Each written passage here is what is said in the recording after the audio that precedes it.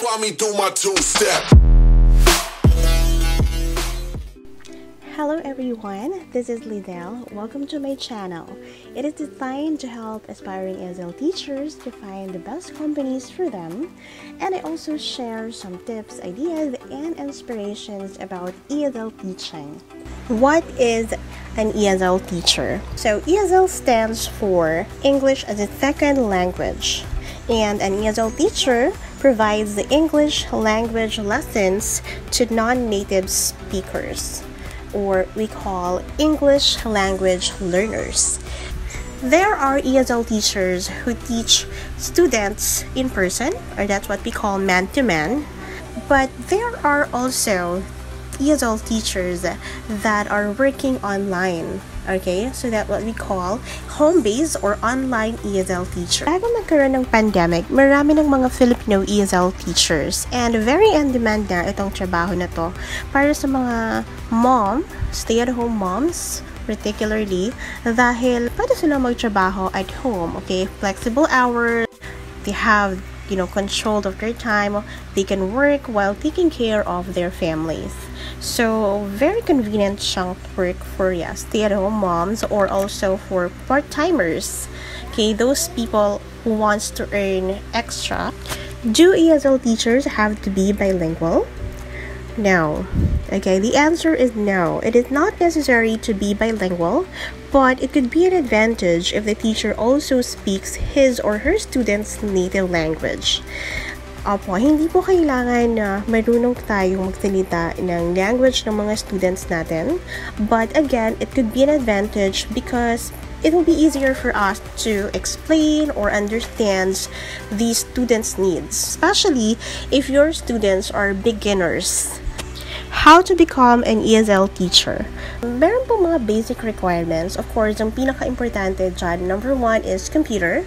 You have to have a computer, either desktop or laptop. I'm going to make a separate video about the basic technical requirements and the other things related to that. Dapat meron din kayong noise cancelling headsets. Noise cancelling because ESL companies requires you to have a quiet teaching environment. Um, teaching certificates like TESOL and TEFL. Okay, there are companies that they don't require their applicants or teachers to have a teaching certificates. But I think this is another advantage if you are applying and you want to become an ESL teacher there are some schools na nag-offer ng cheaper cost for TESOLs. May mga free TESOL trainings din akong nakikita online. Okay, so next is the computer literacy. Of course, you have to know the basic of how to use computers. You don't really have to be an expert in troubleshooting or anything. Um, basic computer knowledge is okay. May mga technical problems sometimes during the class So, dapat marunong tayo kung paano, you know, ito troubleshoots yun. In a quiet teaching environment.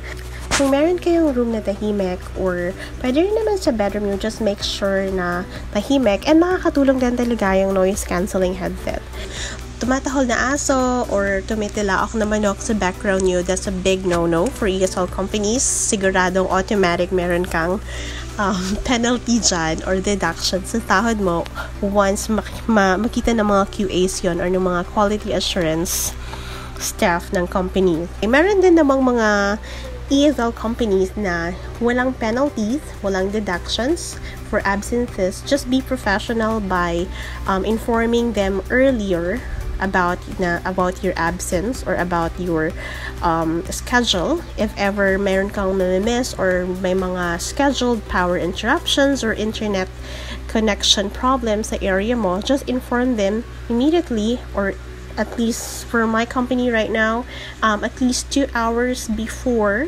the class, you have to inform them about any problems so that they can inform the students immediately as well.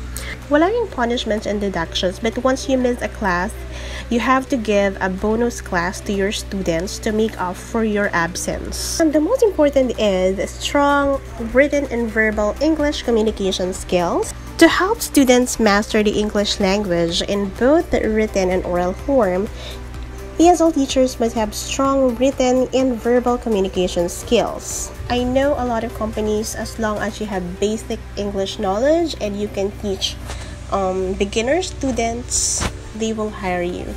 Okay, so depends yan of course sa magiging performance nyo during the interview and the demo class. Sa kung feeling nyo hindi kayo ganun kagaling sa written English or verbal English, if you're not an expert, if you don't have an exceptional, you know, skills for that, well, if you do well during the interviews or demo class, yeah, trainings, I'm sure you can do it. And then may mga companies din pala na nag-offer sila talaga ng trainings. So, madi-develop at made-develop pa rin talaga yung skills nyo kahit na nag-work na kayo. Where to apply? There are many ESL companies hiring Filipino teachers. I decided to make a separate video for this. On my next video, I will share some ESL companies where you can apply and start your ESL teaching career. How do you get paid for online English teaching? Okay, so most online teaching schools will either pay you via PayPal or directly into your bank account. ESL teachers are paid by the hours. The average rate for Filipino ESL teachers is from $2 to $10 per hour.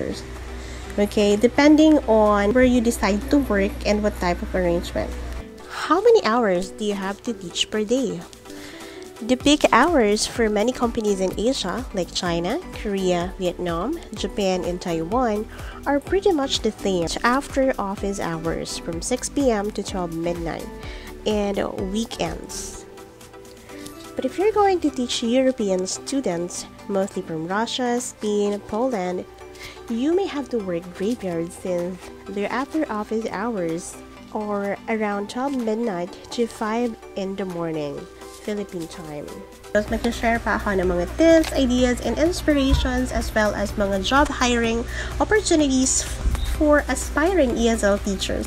So kung interested kayo sa topics na to, please don't forget to subscribe, click the notification bell button para updated kayo kapag may mga bago akong uploads. Thank you so much teachers. God bless!